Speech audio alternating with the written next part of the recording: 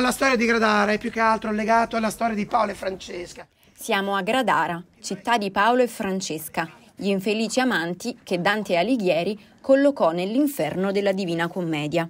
Amor, che nulla amato, amar perdona. Fui presa del costui piacer sì forte, che come vedi ancor non m'abbandona. Come ogni anno per San Valentino, molte le iniziative in cantiere. Gradara nasce, questo evento Gradara da Mare nel 2003, quindi sono già 21 anni che portiamo avanti questo evento ed è nato come tutti gli eventi che nascono a Gradara.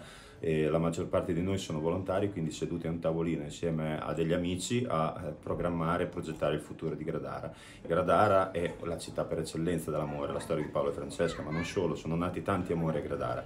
E, e grazie poi a un personaggio che si chiamava Matteo Giardini, che era un dantista, abbiamo portato su un po', abbiamo raccon- iniziato a raccontare l'amore. Gli spettacoli di Dante nel borgo e nel teatro comunale hanno reso protagonista anche il pubblico. Le attrici della compagnia Cinque Quattrini hanno cantato, recitato e regalato un attestato alle coppie registrate all'anagrafe dell'amore. Questo è il libro degli innamorati, anche e soprattutto ispirato a Paolo e Francesca. E questo libro, questo libro è numerato, quindi è partito dal numero 1 fino ad arrivare a oggi che siamo arrivati al 1560, quindi alla 1560 coppia che è passata di qua e... Uh, può scrivere liberamente una frase eh, oppure anche una parola che identifichi la coppia. Non poteva mancare in chiusura dell'iniziativa uno spettacolo della corte malatestiana e dei mangiafuoco e una sfilata in abiti medievali.